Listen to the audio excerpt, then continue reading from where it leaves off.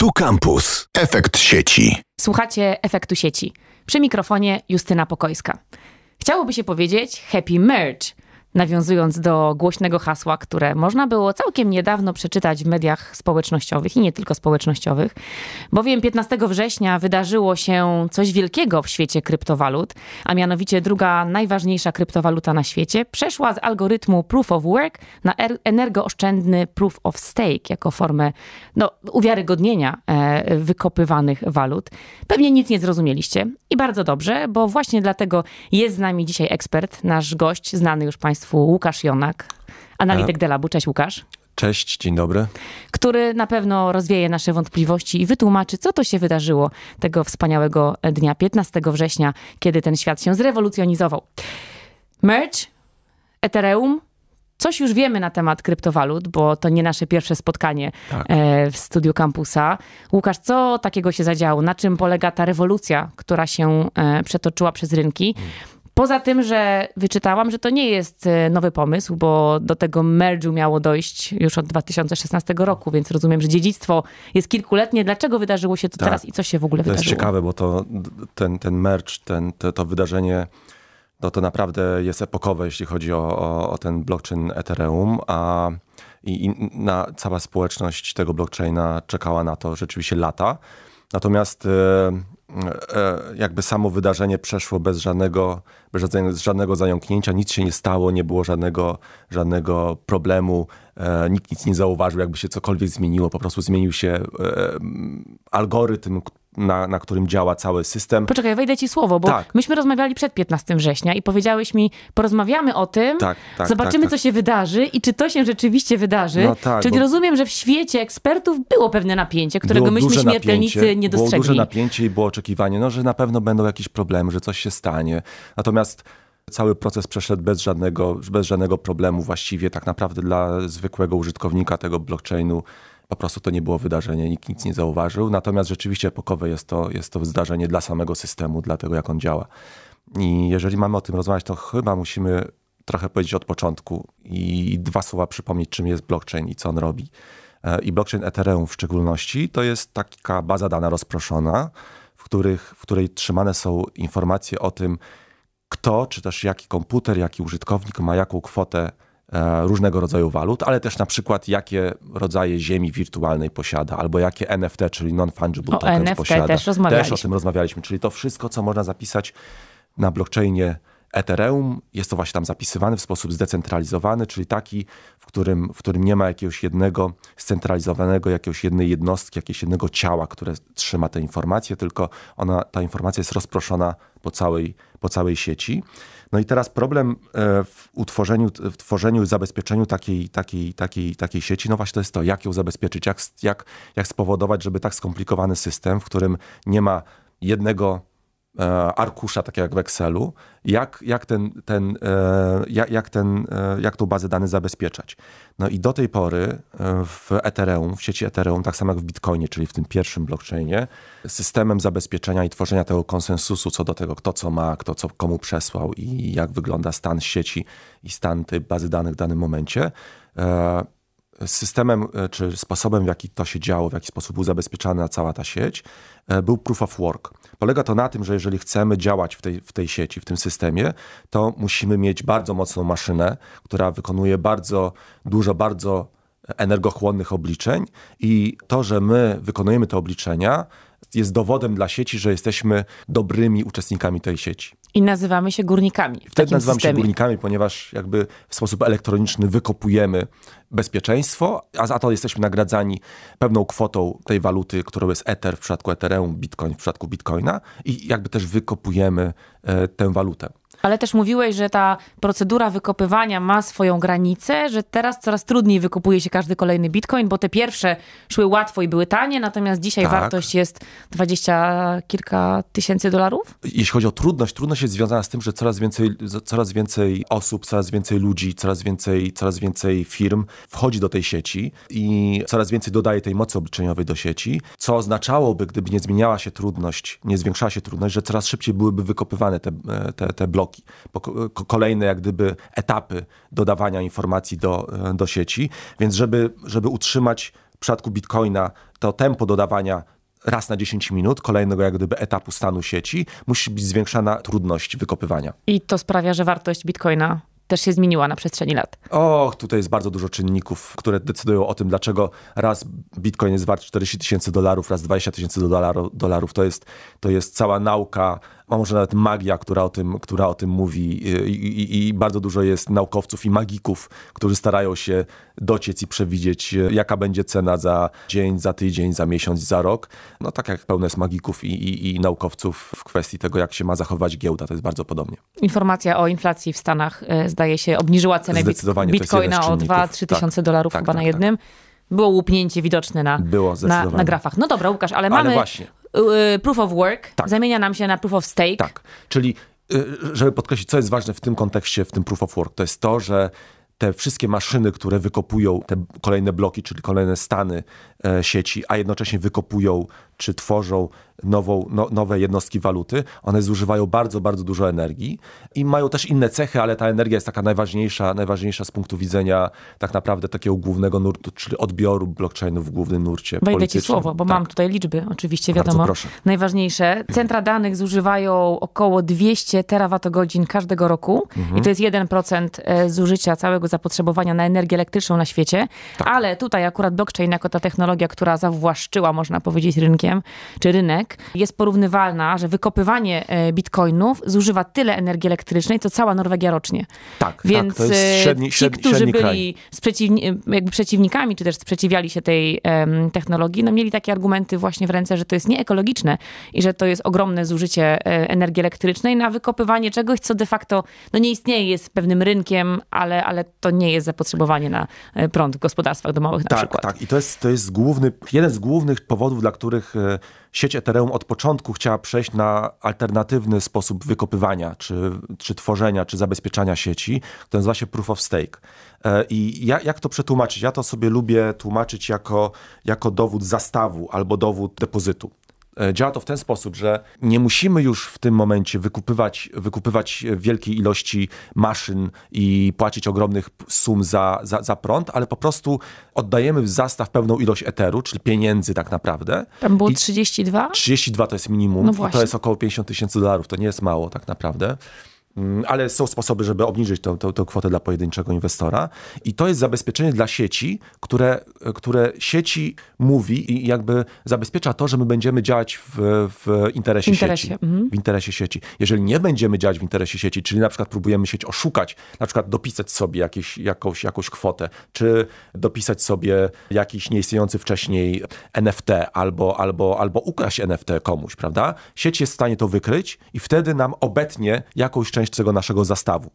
Jeżeli będziemy natomiast działać w interesie sieci, to ten zastaw będzie powiększany o jakiś tam procent tego zastawu. On jest tam wyliczany po, po, poprzez sieć, czyli mamy analogiczną sytuację do, do proof of work, ale nie wydajemy pieniędzy na, na elektryczność, na sprzęt, ale bezpośrednio te pieniądze zastawiamy w sieci. A to nie idzie w kontrze trochę do tego założenia o decentralizacji, takie, o, o, takim, wiesz, wejściu bezgranicznym, no bo jeżeli mm. do tego pola nie może wejść każdy, tylko ta tak. bariera wynosi 50 tysięcy, to, to znaczy, że to już nie jest demokratyczna technologia, tylko technologia, która bazuje na ekspertach i profesjonalistach, mm którzy no, dysponują narzędziami, zasobami do tego, żeby wejść i, i w tę zabawę zagrać. Mhm. Dwie odpowiedzi różnego rodzaju są na, na, na, na, to zastrzeżenie. Jedna jest taka, że i tak to jest bardziej zdemokratyzowane i bardziej zdecentralizowane niż proof of work, ponieważ proof of work musieliśmy mieć do, dodatkowo, znaczy oprócz tego, że musieliśmy zainwestować e, w sprzęt i w energię, to oprócz tego musieliśmy też mieć wiedzę specjalistyczną, bardzo specjalistyczną, jak prowadzić te, ten biznes kopania czy majnowania. I tak naprawdę te koszty dla pojedynczego użytkownika wcale nie były niższe, były wyższe niż to, co mamy teraz w Proof of Stake. Drugą rzeczą jest to, że są usługi, w których po prostu możemy się z innymi ludźmi złożyć na te 32 e, etery i później dzielić się zyskami z tego wykopywania nowych bloków czy zabezpieczania sieci, co też de decentralizuje i pozwala na zdemokratyzowanie sieci. Czyli kapitał społeczny w działaniu? Tak, kapitał społeczny nawet w, tej, w tym, w tym merge'u, w tym, w tym widać jak on działa, jak, jak jest wielki. To naprawdę ta cała operacja to jest wynik naprawdę lat współpracy deweloperów, organizacji, instytucji, fundacji, które, które musiały skoordynować swoje działania, swoje wysiłki, żeby do tego merge'u mogło rzeczywiście dojść. Ta warstwa społeczna w Ethereum, w ogóle w blockchainach, ale w Ethereum chyba najbardziej, jest bardzo, bardzo, bardzo istotna. To nie jest po prostu kierunek, e, tak jak Airbnb i inne technologiczne innowacje, e, to nie jest kierunek profesjonalizacji po prostu, no bo mieliśmy górników, takich właśnie samoczynnych, którzy gdzieś tam mhm. zaczynali od kopania bitcoinów we własnym zakresie, no później potrzebowali, tak jak powiedziałeś, sprzętu większego. Teraz mamy walidatorów, jeżeli mhm. dobrze tak, tak, widziałam, tak, tak się nazywa teraz ta rola. Mhm. No ale rozumiem, że to grono będzie węższe, bardziej profesjonalne i być może bardziej efektywne, ale to nie jest zaprzeczenie. Nie będzie to, nie będzie to, to grono mhm. będzie raczej szersze ponieważ tak naprawdę nawet ja i ty e, możemy złożyć się na, na te 32 e, etery. Nie jest, to, nie jest to specjalnie trudne, możemy to zrobić w każdej chwili i to jest o wiele łatwiejsze niż e, uruchomienie węzła, węzła Bitcoina czy, czy Ethereum, kiedy Ethereum działało jeszcze na Proof of Work, więc to jest, to jest łatwiejsze. To wciąż nie jest oczywiście coś, co każdy będzie robił, ale, ale jest to o wiele łatwiejsze niż, niż, niż do tej pory, więc ja tutaj się z tą tezą, że, że to jest zwiększenie profesjonalizacji, bym się nie zgodził, wręcz przeciwnie, jest to rozluźnienie chyba tego tego, tego, tego reżimu. No i proekologicznie, bo zdaje się, że tak. 95% energii zużywanej do tej pory będzie zredukowane. 99,95. No czyli, czyli właściwie do, do, do, do małego promila tak, energii czyli, się ograniczamy. Czyli, czyli to jest jakaś, jakiś rzeczywiście procent tego, co zużywa YouTube i oglądanie YouTube'a na całym świecie. I to jest wielkość, która zmniejszyła zużycie na Ziemi o 0,2%, czyli jak, całości konsumpcji prądu. Całości konsumpcji prądu, więc jakaś tam już zauważalna zauważalna. A 1% konsumpcji prądu całego na świecie to właśnie są bazy danych, więc to jest tak, jedna tak, piąta, już, można powiedzieć, tak, tego tak, zużycia. Tak, to jest, to jest znaczące i, i jeżeli, jeżeli myślimy o tym, co na przyszłość znaczy y, dla, dla, dla blockchainów y, to przejście na proof of stake, to jest jedna z tych rzeczy. Znaczy to, że ludzie, którzy są zaangażowani w Ethereum, liczą na to, że instytucje finansowe, które nie chciały do tej pory angażować się czy inwestować w w, w, ten system, właśnie ze względów e, ekologicznych, będą chciały teraz o wiele bardziej, będą bardziej skłonne do tego, żeby jakoś się zaangażować, co ma podwyższyć cenę Eteru. Jest tam jeszcze kilka rzeczy, które nie wiem, czy, czy, czy chciałabyś o tym usłyszeć. E, co jeszcze to niesie za sobą oprócz tego? No właśnie chciałam zapytać, bo okay. to jesteśmy w tym obszarze Jasne. profesjonalnym, mhm. czyli jak zmienia się praca górników czy walidatorów, a co to niesie realnie dla świata inwestycji, czy dla świata kryptowalut, ale w ogóle i świata finansowego dla zwykłych zjadaczy mhm. chleba. Czy to są jakieś rewolucje? Powiedziałeś, że tego nie zauważyliśmy. Nie zauważyliśmy. Być mhm. może słuchacze nawet nie słyszeli o tym, więc dzisiaj się dowiadują, że takie wiekopomne wydarzenie miało miejsce. Jakie są konsekwencje? Finansowe konsekwencje, już zacząłem o tym mówić, czyli to, że jest, jest nadzieja na to, że przejście na proof of stake zwiększy wartość jednostki e, tej, e, tej waluty e, Ethereum, czyli Etheru. Dlatego, że będzie więcej inwestorów, to jest raz, ale także dlatego, że, że zmniejszy się inflacja tej waluty, czyli mniej będzie jakby drukowanej tej waluty. Po prostu mniej się drukuje. Mniejsza podaż. W tym, w tym mniejsza podaż tak. i tak dalej, i tak dalej. Czyli, czyli nasz Ether, który zostaje, który mamy w ręce, mniej traci na wartości. To jest kolejna rzecz. Inną rzeczą jest jest jeszcze to, że dla, najważniejsze z punktu widzenia tych, którzy tworzą ten system, znaczy przejście na proof of stake o wiele ułatwia i właściwie umożliwia dalsze skalowanie systemu. W tym momencie jest ograniczona pojemność jakby tego systemu, ograniczona ilość transakcji, które co sekundę można zawrzeć w tym systemie, a takim celem, do którego chcą dążyć, dążyć twórcy tego systemu jest to, żeby ta przepustowość systemu Ethereum no, dorównywała ilości transakcji, które przeprowadza na przykład Visa czy Mastercard, prawda? I Proof of Stake ma ułatwić e, i doprowadzić do tego, że te nowe usprawnienia, które już są w kolejce tak naprawdę e, i są planowane, będzie łatwiej wprowadzić, będą możliwe do wprowadzenia. Dzięki temu ten system będzie szybszy, bardziej pojemny, a za tym idzie, będzie bardziej użyteczny dla, dla ludzi, a to jest najważniejsze dla twórców tego systemu. To, co się dzieje na Ethereum, to nie tylko kwestie finansowe, to nie tylko zdecentralizowane finanse, ale też próby tworzenia architektury, infrastruktury rozproszonej tożsamości cyfrowej, którą będziemy mogli się posługiwać, której my będziemy właścicielami naszych danych, a nie na przykład Facebook czy LinkedIn i tak dalej. To są nowe sposoby, nowe modele ekonomiczne na tworzenie dobra, dobra wspólnego czy dobra publicznego. To są wszystko rzeczy ograniczone, ponieważ wciąż jeszcze jest za małe uczestnictwo zwykłych obywateli w, tym, w tej sieci i przejście na proof of stake ma być jednym z kroków na, na drodze do, do zwiększenia tego uczestnictwa. Czy będzie równolegle funkcjonowało teraz Proof of Work i Proof of Stake? A to jest bardzo, bardzo ciekawa rzecz, bo oczywiście no co, co teraz z tymi górnikami, którzy kopali do tej pory, co oni ze sobą zrobią? I teraz część tych górników... Upskilling, wiesz, z górnika na walidatora, to trzeba zrobić Niektórzy- lifelong learning. No tak, niektórzy sprzedają swoje, swoje sprzęty, e, swoje koparki, swoje karty graficzne i dzięki temu być może gracze trochę odetchną, będą mogli taniej kupić e, swój sprzęt do, do, do swoich komputerów, ale niektórzy górnicy stwierdzili, że oni w takim razie przeniosą się na inne blockchainy, które wciąż są na proof of work, czyli te jak Bitcoin, czy, czy te memowe blockchainy związane z, z różnymi fajnymi zwierzakami.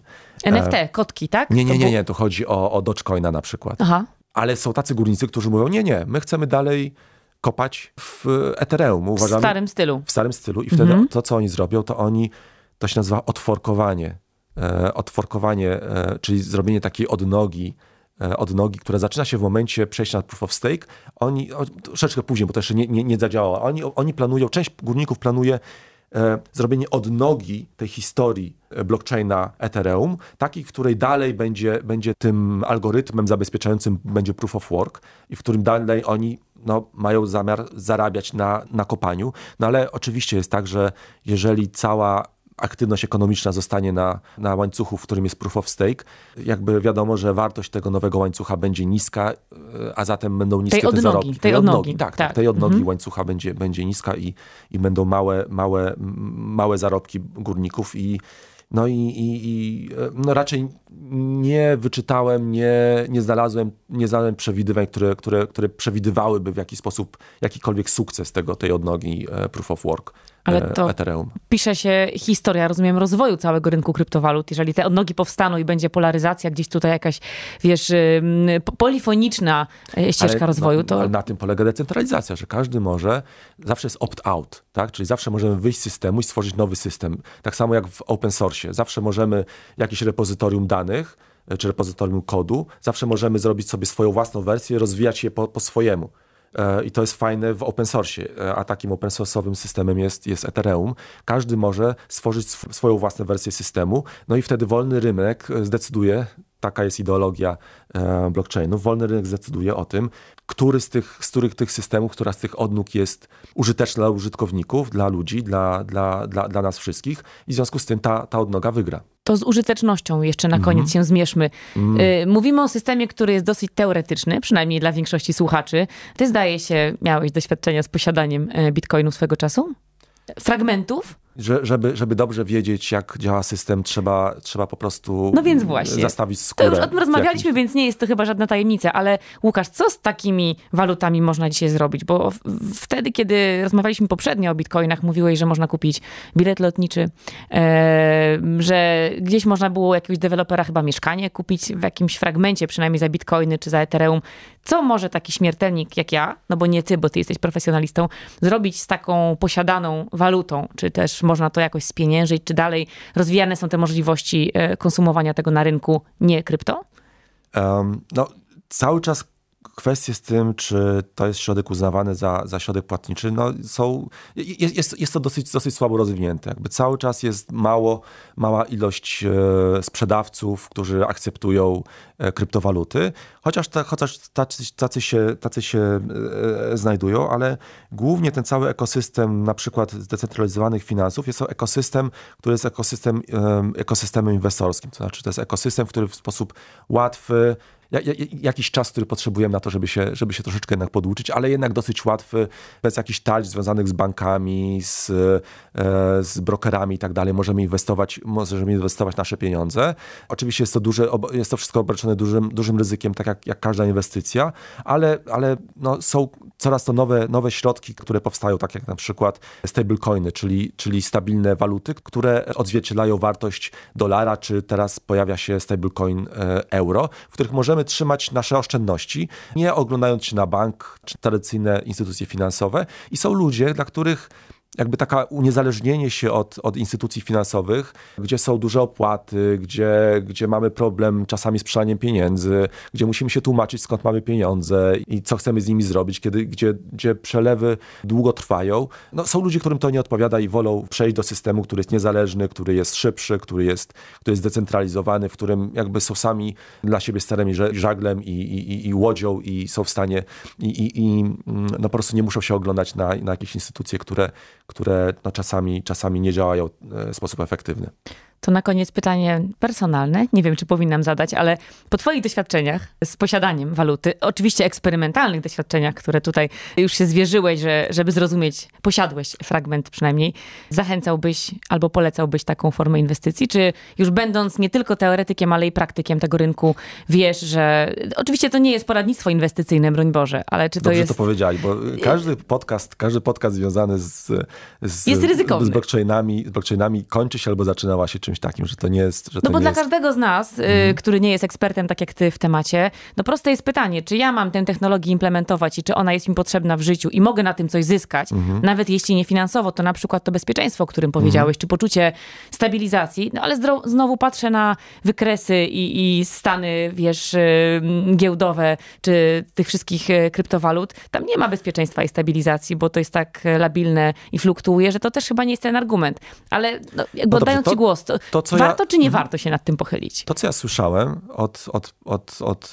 od, od ludzi, którzy zajmują się poradnictwem inwestycyjnym, jest to, że zawsze warto dywersyfikować swój portfel.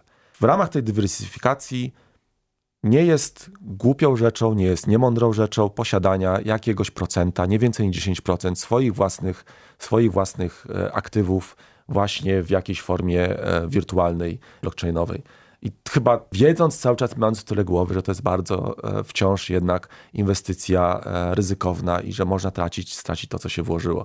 I to wszystko chyba, co można na ten, na ten temat powiedzieć, ale ja bym zachęcał nie tylko do tego, żeby finansowo się przyglądać blockchainom, ale także, żeby patrzeć, co one umożliwiają na innych polach, właśnie na polu związanym z, z, nowymi mediami społecznościowymi, które są, w których nasz profil należy do nas, nasza tożsamość należy do nas, w tym jak rozwijają się zdecentralizowane organizacje, e, które działają właśnie na bazie blockchainów. To są wszystko nowe zastosowania, które gdzieś tam w tle mają oczywiście finansowe jakieś tam fundamenty, ale które są interesujące także bez tych, bez tych finansowych kwestii. No i kwestia ekologii, od której zaczęliśmy, która też jest nie, niebagatelna tak, w tej całej opowieści cały, cały, cały ekosystem Ethereum odetchnął, że już główny nurt, e, wielkie dzienniki telewizyjne i, i, i, internetowe nie będą, nie będą miały tego argumentu, że, że, że, że, że, że oto Ethereum psuje klimat. Czyli happy merge, można z pełną odpowiedzialnością również na tak, koniec powiedzieć. Nie odczuliśmy, ale wiemy, że rewolucje na rynku finansowym się zadziały. Dzięki Łukasz za tę opowieść, za wtajemniczenie nas w kuluary tej historii, której być może sami byśmy nie zauważyli, ale dzięki tobie wiemy, na czym to polegało i oczywiście przyglądamy się dalej i będziemy prosić cię o poradnictwo nie tyle inwestycyjne, co um, poprowadzenie nas przez tajny świat kryptowalut. Łukasz Jonak, analityk Delabu, był Bardzo naszym dziękuję. gościem dzisiaj. Dzięki piękne, a my słyszymy się jak zwykle w kolejnym odcinku Efektu Sieci. Justyna Pokojska, zapraszam. Radio Campus, same sztosy.